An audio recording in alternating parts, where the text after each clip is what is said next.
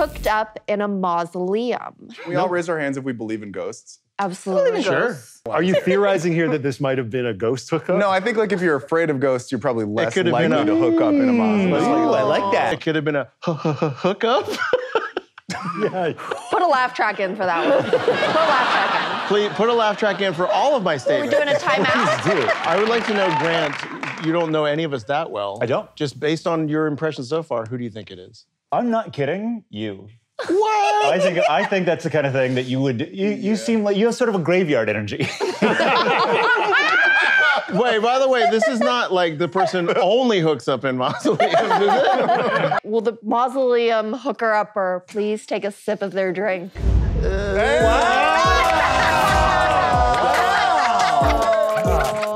Very satisfying. Mm, delicious. Oh my goodness. I love being right. This is great.